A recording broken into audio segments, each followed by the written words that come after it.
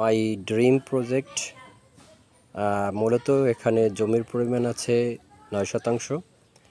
তা আমি আমার এই নয় শতাংশ জমিটাকে যেভাবে সাজানোর চেষ্টা করছি তা আপনাদের সামনে তুলে ধরলাম। প্রথমেই বাড়ির একখানায় আমি একটি টিউবওয়েল স্থাপন করেছি। টিউবওয়েলের পর আমি যেভাবে সাজানোর চেষ্টা করছি, যেভাবে বাড়ির গাছগুলো লাগানোর চেষ্টা করছি, সেটা দেখানোর চেষ্টা করছি। প্রথমেই আমি লাগাইছি একটি লকেট গাছ দেশি লকেট, সাদা লকেট হয়। এরপর আছে আমলকি গাছ। আমলকি গাছ এই কলমের গাছ, এটা মূলত দুই থেকে তিন বছরেই সঠিকভাবে আলো বাতাস পেলে বা পরিচর্যা করলে ফলন আসে। এরপর আছে নারিকেল গাছ। নারিকেল গাছগুলো মূলত দশ ফুট পনেরো ফুট পর পর লাগানোর চেষ্টা করছি। তো নারকেল গাছের ফাঁকে মূলত কলা, আগে প্রথমে তো কলা গাছ থাকার কারণে নারকেল গাছগুলো সঠিকভাবে বাড়তে পারে নাই। এখন কলা গাছ কলা গাছ থেকে কেটে দেওয়ার কারণে আস্তে আস্তে নারকেল গাছগুলো বৃদ্ধি পাচ্ছে। এরপর লাগাইছি আমি একটি দেশি ল্যাংরা আম, এর জাতের আম গাছ। আম গাছটা এবার ফলন আসছে, এই যে পড়ে গেছে সব হয়েছে ল্যাংরাম দুটো আমরা গাছটা ফল আসছিল। এরপর আছে দেশি লকেট গাছ। দেশি লকেট গাছটা মূলত এক দেড় গাটি লকেট হয়, তিরিশ চল্লিশ কেজি মতো। লকেটগুলো লাল হয়, খেতে সুমিষ্ট। বর্ষা হলে অনেক বড় হয়। এবং ফাঁকে সারি সারি সুপারি গাছ লাগানোর চেষ্টা করছি। আপনারা এখন বলুন তো, এই যে গাছটা দেখাবো, এই গাছটার নাম কি? বলেন, এই গাছটার নাম কি? এই গাছটা মূলত সচরাচর বেশি একটা দেখা যায় না। গাছটার নাম হচ্ছে করমজা করমজা গাছ। লেবুর পাতা করমজা, যা বৃষ্টি ঝরে যায় সেই করমজা গাছ। গাছের ছায়া পড়ার কারণে গাছটি বেশি বড় হতে পারে নাই। আমার আশা আছে এই পরবর্তীতে পাশে মাটি ফেলে গাছটাকে স্থানান্তর করা। পাশেই ফাঁকে আছে কলা গাছের সারি। কলা কিন্তু কালকে একছড়া কাটছে, এখন আবার একছড়া আছে, যে গাছে ধরে আছে। এই কলা গাছের নিচে নারিকেল গাছ থাকার কারণে নারিকেল গাছটা কিন্তু বড় হতে পারে নাই। পাকে আছে আম গাছ। এরপর একটি কাঁঠাল গাছ, পরপর দুইটি কাঁঠাল গাছ লাগিয়েছিলাম। কাঁঠাল গাছটিগুলো কিন্তু বড় হয়েছে, কাঁঠাল গাছ। এই যে তো এখানে সব কলা গাছ কেটে দিলে কাঁঠাল গাছগুলো অনেক বড় হবে এবং কাঁঠাল গাছগুলো ভালোভাবে ধরবে এবং দুই তিন বছর মধ্যে ফলন আসবে। এরপর আছে আমার নারিকেল গাছ। নারিকেল গাছ কিন্তু বড়ই হয়েছে, মোটামুটি তিন বছরের নারিকেল গাছ ভালোই হয়েছে। ফাঁকে সুপারি গাছের শাড়ি। এরপর আমার যখন জায়গা কিনছিলাম, তখন কিন্তু বাজার ছিল এখানে একটা। বাজার থাকার কারণে বাজারটা কিন্তু সব কাটি নেই, বাজারগুলো আছে কিছুটা অংশ। এখানে একটা কাঁঠাল গাছ লাগিয়ে দিয়েছি। এরপর সারি সারি সুপারি গাছ লাগিয়েছি। মধ্যেই লাগিয়েছি একটি সবেদা গাছ। আর এই সবেদা গাছটি ধরছে, দু বছর বয়স হয়েছে, চারা এখনও মূলত একটু সময় লাগবে, ছয়, সাত বছর লাগে ফলন আসতে। এরপর আছে মালটা গাছ। মালটা গাছের চারা কিছুদিন আগে এনে এনে লাগানো হয়েছে। এখনও সঠিকভাবে ধরে নাই গাছটা। মালটা গাছের পর এর ফাঁকি একটি জাম গাছ লাগিয়েছে। জাম গাছটা কিন্তু বড় জাম বড় জাম গাছের পাতা, এই যে। এগুলো বড় বড় জাম ধরে, দেশি জাম। বেশ সুমিষ্ট হয়, কলমের চারা। পাশে আছে আপনার, এটা তেজপাতা গাছ, ঔষধি গাছ এবং ঘরেরও মশলা হিসেবে, সবজির মশলা হিসেবে ব্যবহৃত হয়। গাছটা কিন্তু ব্যাপক শাখা পোশাখা মেলছে। নিচে লেবু গাছ, লেবু গাছে লেবু ধরছে এবছর। পাশে কিন্তু দেশি জাম্বুরা, দেশি জাম্বুরাটা কিছুদিন আগে এনে লাগিয়েছি। গাছটা অনেক বড় এবং বড় বড় আক- আকারের জাম্বুরা ধরে এখানে।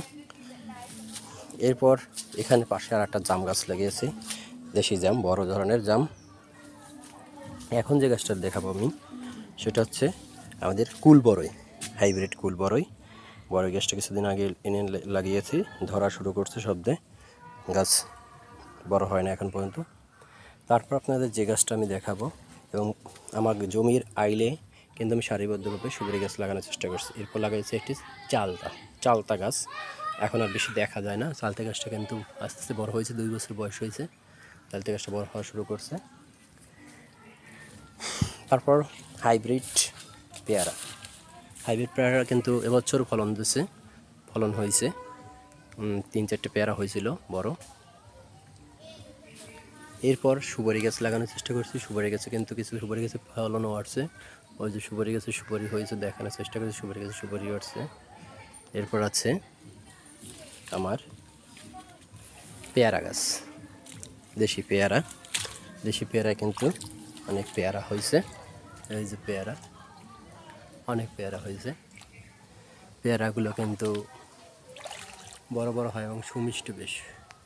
এরপর সুপারি গাছ, নারকেল গাছ।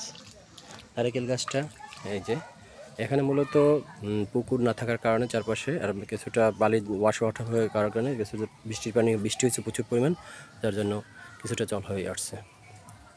এখন এই যে নারকেল গাছ, আমার নারকেল গাছের বয়স এটা, এই তিন বছর। কিন্তু সে অনুযায়ী মোটামুটি পরিচর্যা করার ব্যাপারটা সময় পাই না, তো যতটুকু সময় পাই সেই অনুযায়ী নারকেল গাছ কিন্তু মোটামুটি হয়েছে। সুপারি গাছ সুপারি গাছ মার্শাল্লাহ খুব সুন্দরই হয়েছে। মধ্যে আবার কাঁঠাল গাছ লাগিয়েছে। এই যে কলা গাছ, যে কথা বলছিলাম প্রতি বছর তিরিশ পঁয়ত্রিশ ছড়া কলা হয় আমার এখনও বাগান থেকে। যে এখনও কলা ঝুলে আছে, তিন ছড়া কলা আছে এখনও কালকে এক ছড়া কাটছি। এই বেল গাছ লাগাইছে একটা মধ্যে। বেল গাছটা চারা, ছোট এখনও মধ্যে সুপারির শাড়ি, আম গাছ। আর একটা জিনিস আপনারা গাছটা চিনবেন, বলেন তো এই গাছটা কী? গাছটা মূলত ডবুয়া গাছ। আমরা কিন্তু ডবু গাছ একটা গ্রামীণ ফল, কিন্তু এই ফলটা কিন্তু বেশি পাওয়া যায় না। ডবু গাছ আমি একটা লাগানোর চেষ্টা করি গাছটা বড় হয়েছে।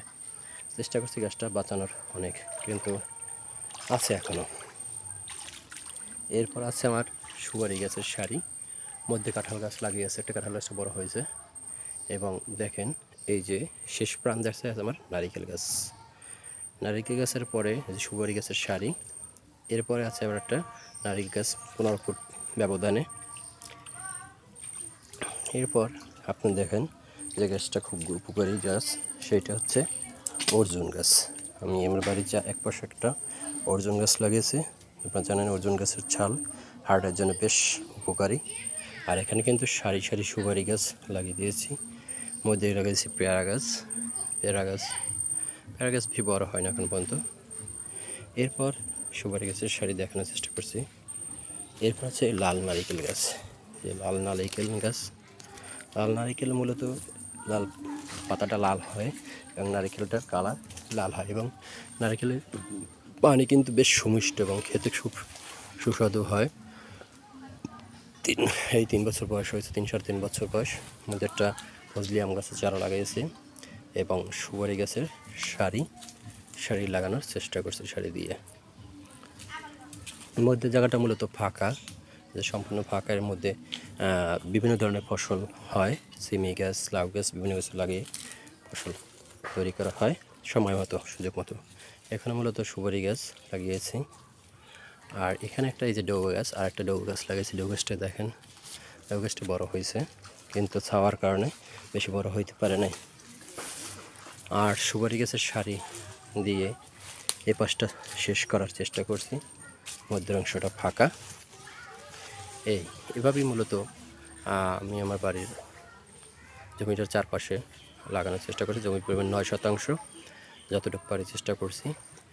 মূলত আমি মাননীয় প্রধানমন্ত্রীর কথা উদ্বুদ্ধ হয়ে আমার প্রত্যেকটা বাড়ির চারপাশে এক একটি খামার গড়ে তোলা চেষ্টা করছি, যতটুকু পারি। আমরা কিন্তু একটা অনেকেই ভুল করি যে, বাড়ির চারপাশে বেশি করে কাঠের গাছ লাগাই। যেমন এই রেন্ডি গাছ কিংবা চাম্পল গাছ কিন্তু এগুলো যেখানে হয়, চারপাশে কিছুই হয় না। তারপরে যদি আপনি ফলোয়ার্স গাছ বেশি করে লাগান, তার বেনিফিশিয়ারি আপনি বেশি হবে এবং আপনার বাড়ির পুষ্টির চাহিদা মেটাতে পারেন। তো সকলকে দেখার জন্য ধন্যবাদ। আপনারা সবাই ডিএন ব্লগস সাবস্ক্রাইব করবেন। ধন্যবাদ সবাইকে।